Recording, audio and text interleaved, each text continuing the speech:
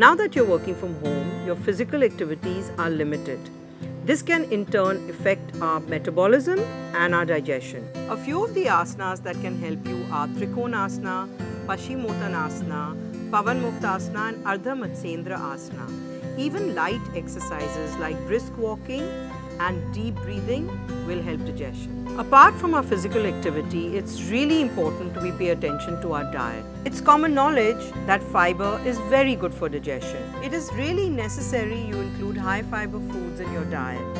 Vegetables, fruits, nuts, brown rice, oats and multigrain atta are really high sources of fiber. The grains that are used to make multigrain atta together are high in fiber that aid digestion.